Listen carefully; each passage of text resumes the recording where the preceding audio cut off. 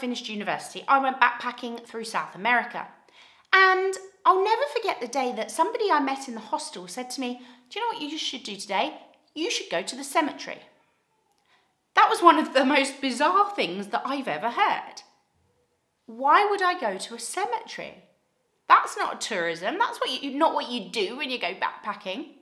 But I was actually wrong.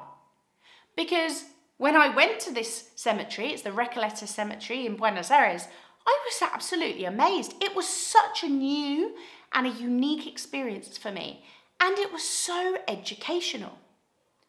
Now, to say I enjoyed the day is perhaps not quite the right term, but it was definitely something I wanted to pursue again. But why do we want to visit places that are associated with death? Why would we go to a cemetery on our holiday?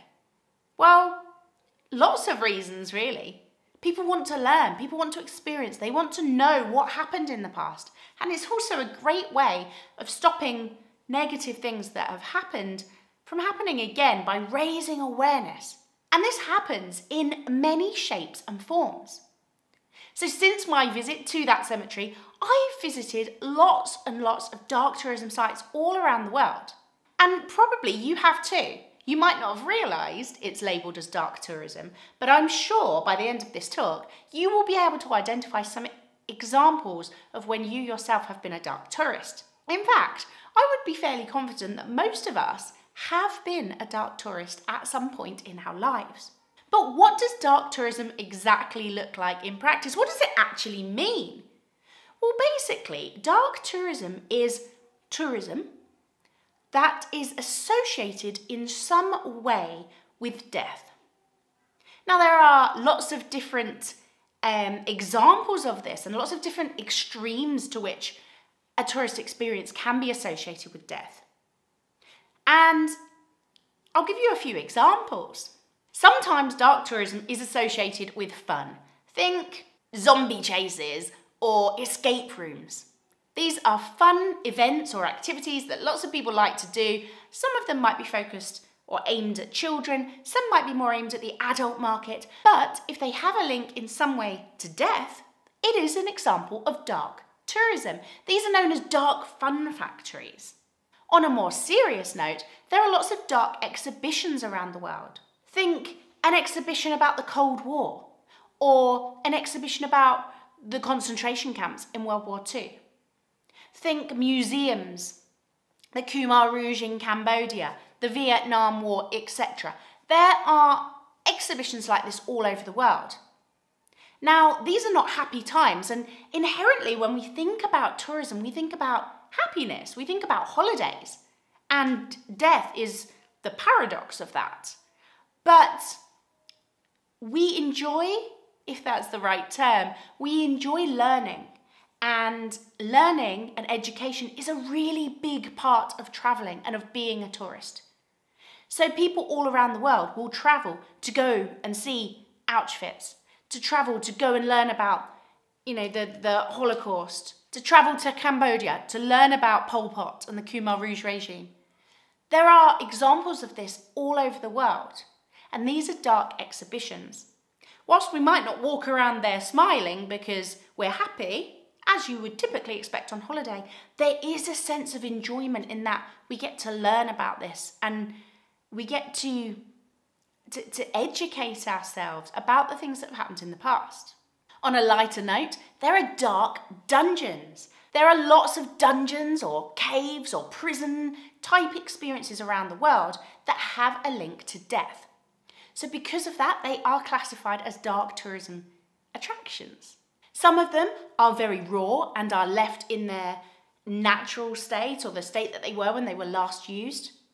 And others are somewhat Disneyfied and they almost become a theme park or a ride. So, for example, in London, you have the London Dungeons, and it has live actors, and it has a ride or a couple of rides in it, and it is very, uh, it's a very fun experience but it is still serious in that you will learn about some very important and tragic histories throughout British history that occurred in that area. We also have dark resting places. So, for example, when I went to that cemetery in Buenos Aires, that was a dark resting place. For me, that was so insightful. I learnt a lot about the history. And there are lots of cemeteries or uh, tombs, etc., all over the world that tourists will flock to go and see. You might have some kind of connection, perhaps a religious connection, or a, a cultural or a, a national connection, or maybe you just simply want to learn more. This image here is of the Mount of Olives in Jerusalem, which is a very big and popular dark tourism resting place.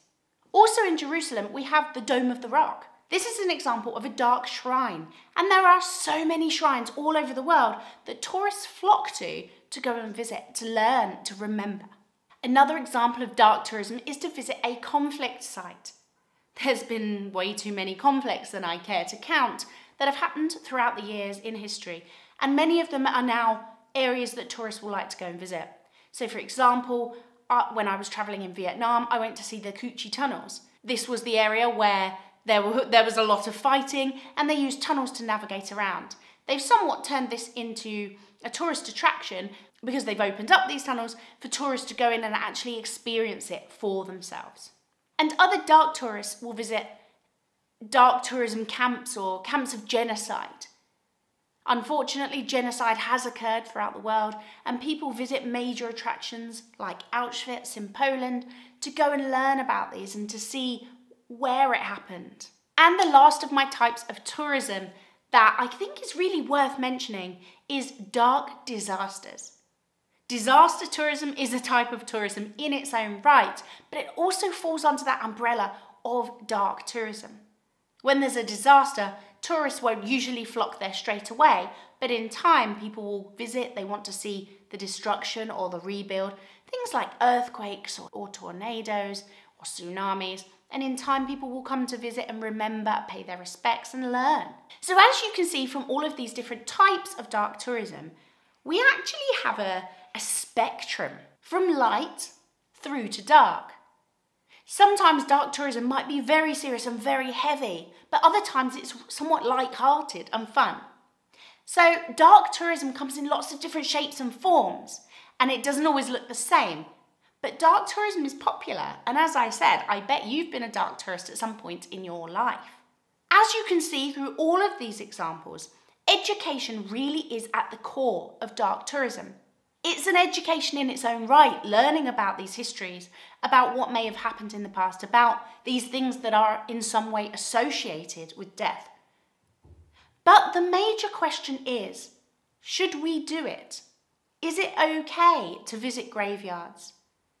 That picture that I showed you at the beginning of this talk, I was stood there smiling. But at the time, I wasn't sure. Naturally, for photos, I would usually smile. But it feels wrong. It felt wrong. Should you smile? How should you act when you visit these sites? And these are some of the major ethical dilemmas that we have. And the key really is to be respectful when we visit these sites and to behave in a way that is appropriate. But what is appropriate, what isn't? Usually, dark tourism sites will become tourist attractions after a certain amount of time has lapsed. For example, a war doesn't end and one week later we're there as tourists to see what happened. I've read numerous articles that have suggested that Wuhan will be the next big dark tourism destination. But right now in 2022, with China having only opened up a few weeks ago, that's not going to happen anytime soon. It's, it's too close, it's too raw. So generally there will be a certain amount of time that will pass before a destination is deemed acceptable for tourism purposes because there is that element of sensitivity that is generally involved with these sites. And then that leads us on to the question how should we behave at these, at these destinations? How should tourists behave and the stakeholders involved in the tourism industry? How do they best manage this provision to ensure that people are not offended, people are not upset? I remember visiting the Vietnam War Museum and seeing Americans, because there was a, a, heavy play on what happened um, from the American side there, from the Vietnamese perspective. And I remember seeing people walking around absolutely sobbing, crying their eyes out. This was personal. They really felt a connection. I remember when I went to Cambodia and seeing people that had lost limbs during the Khmer Rouge regime. They're still living. They still have those living memories. This is real. This isn't a history book. Going to Chernobyl and seeing where that disaster site happened brings on such strong emotions. And there are still people in that area who have been affected, who were affected very, very strongly by that. So we need to act respectful and we almost need a, a code of conduct for dark tourism. Don't take pictures of people in moments of grief. Don't act inappropriately. If I was in that museum in Vietnam telling jokes with my friend and laughing, whilst other people were walking around crying their eyes out, that would be totally inappropriate. So we need to have dark tourism because the educational element is just absolutely invaluable, but it also needs to be managed in such a way that it is respectful and we are respectful of all parties involved. So, in answer to one of my original questions. Why do we become dark tourists? Well, we usually it's because we want to learn. We want enjoyment. You know, going to an escape room might be fun, but most of the time it, it is really about learning and about education. And that is one of my my favorite sayings actually in travel and tourism is that travel is the best education. And going to these places and actually experiencing them and seeing them. It might not be your traditional happy, smiley holiday moment, but it is such a valuable experience. And this is why people around the world are moving away from the traditional sun, sea, and sand holiday. Yes, we all still want to lie on the beach from time to time, but we also want something more and learning about other places, other cultures, other histories. That is one of the major things that is fueling the travel and tourism industry that we know today. Thank you very much for listening to this talk. I do have more information on dark tourism on my website, tourismteacher.com. So do have a look if you want to learn any more.